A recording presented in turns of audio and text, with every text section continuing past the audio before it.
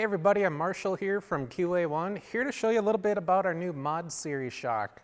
Uh, this shock here we're excited uh, to release. It's the first on-the-car revalvable shock out there, um, and that's done via the unique adjustment knobs down at the bottom of the shock. So actually, in my hand here, I'm holding all of the compression valving for this particular shock. So you might be asking, what is different about this shock versus all the other ones out there on the market? Well, as time has gone on, tires have gotten better, cars have gotten better, people have gotten smarter about setting their cars up. Therefore, your suspension needs to keep up with the increased traction, increased power that you've added.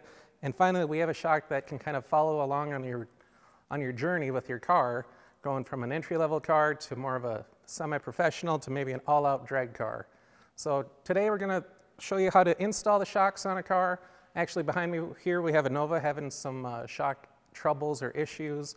So we'll go through and get the mods put on there and, and then show you how to revalve the shock on the car. Hi everybody, I'm Dave Goldie with QA1 Motorsports. Uh, today we're going to talk about uh, some issues this gentleman's having with his drag race Nova. Uh, like Marshall mentioned earlier, um, we have our new mod series shock that has quick tune technology. It enables the owner or the driver to change the valve in the shock right on the car. The first thing we're gonna do is do an install and then we'll show you how to change the valving right on the car. Uh, first of all, we've already got the car in the lift. As you can see, we've loosened up the fasteners. We've got a supporting jack underneath to support the control arm so it doesn't go too, too far into droop. I'm just gonna pull off the shock that's not working for this gentleman, slide it out of here. Again, this is our new Mod Series shock, has a canister. We do also have a piggyback. We chose to go with the canister in this particular uh, vehicle, just by the way it mounts on the car. Um, that shock was mounted with the body up. I'm gonna actually mount it with the body down. Part of the reason I wanna do that, because I wanna be able to access the knob. So when I'm making adjustments at the track, generally the car's on the ground, hard to get up on the top of the wheel to make adjustments, so I'm gonna have the adjustment knobs towards the bottom. So I'm just gonna slide this shock up in here, and for installation purposes, we don't have the spring on it, so we're just gonna show the install. I'm gonna stick the shock up in here. Set it in the mounting point that it was at originally. Right, right, away I can see an issue. I'm not going to be able to access the knobs at the base of the shock. So if you look over here, the knobs are actually pointing at the back of the spindle. So I wouldn't be able to access them on the car. So what I'm going to do before I actually bolt it in, I'm going to take the shock back out and re-index the base. Like Marshall mentioned, we have indexable bases on all our Mod Series shocks. So I'm just going to quickly loosen up. and grab a tool here the base. What's nice is when you take the base off the shock, there's no oil, there's no contamination inside the shock body. So I'm just gonna do that real quick here, show you how easy it is to do, something you probably do right at the track. And I think if I indexed it way over here, I would be able to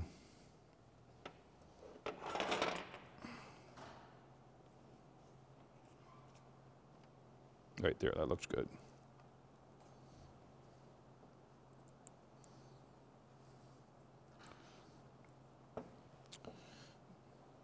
Screws going pretty easy here. You notice the shock has spherical bearings on both ends, minimize any kind of binding, gives you a lot of articulation. So I'm just gonna stick it back in there and see if I got it clocked the way I want it so I can easily access the adjustment knobs.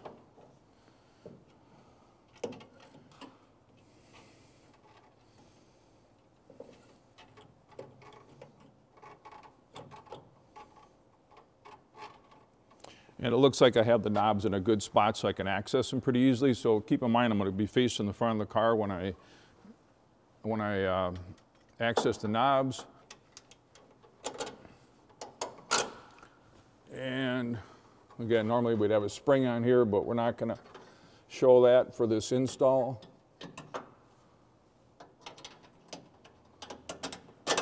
There, the shock's installed pretty easy. Um, like I said earlier, I want to change the valving on this, on this shock because we know when it comes down from wheel stand, it comes down so hard that it actually He's damaged the oil pan. It's got a brand new uh, Moroso pan on here. I think it was about a thousand dollar pan, and he doesn't want to have that get damaged again. So what we're going to do is change the valving right in the car. Um, I'm going to grab a valve pack over here.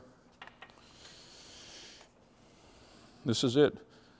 Compression valve pack. So we have the rebound on the left, the compression on the right. I'm simply reach in here, undo the screws that attach the valve pack to the body of the, the base of the shock.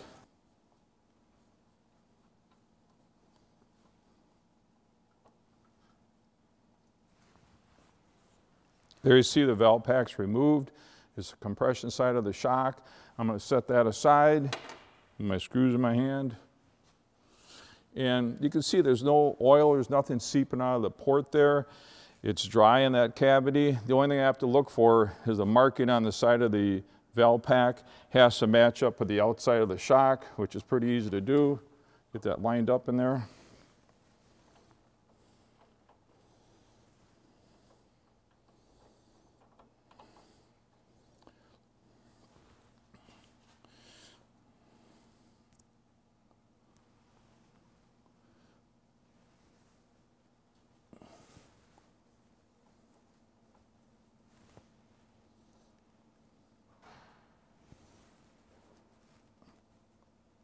So basically that's it. I'm not going to put the other screws in for right now, but once that valve pack's installed, you're ready to make adjustments.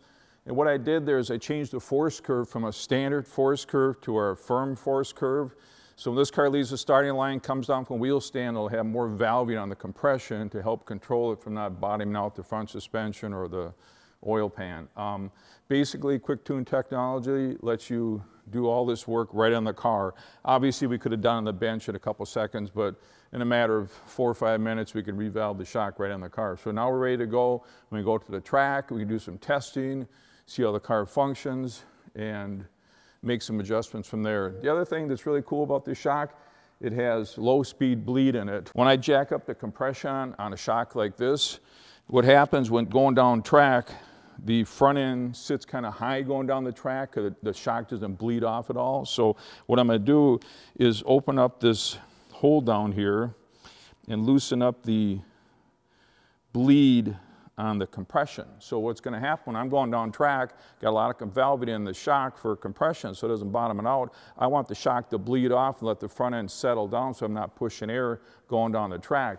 It's going to mile an hour and ET better with bleed in the shock. So that's another feature that we have in the shock that makes this stand alone from other shocks in the market. So again, quick tune technology, easily bolts onto a car. Um, the only thing I didn't show here is bolt, bolting the canister to the frame. That's done with this bracket assembly we have. The canister would simply bolt up to the frame. See, I have it in position there and I'll just take this bracket assembly and bolt the canister right up to the frame. Simple, simple. And I may adjust this. I'm gonna probably set it on the ground and see where the hose comes out, make sure it doesn't interfere with anything, make sure it's uh, not gonna get crimped anywhere. So I'll actually bolt the canister onto this frame, uh, piece of tubing here, if you will, to make sure it doesn't have any interference issues. So basically that's an install and a revalve on a Mod Series shock. Simple. Thanks for watching, everybody. Hopefully, you all learned a little bit watching Dave get the mods uh, installed on the Nova. One final note the mod series packaging. Got your coilover hardware installed in here, as well as your instruction guide and recommended uh, shock settings. There's a link in there to a more advanced guide on our website. But just a reminder, you can find the mod series as well as our entire line at summitracing.com.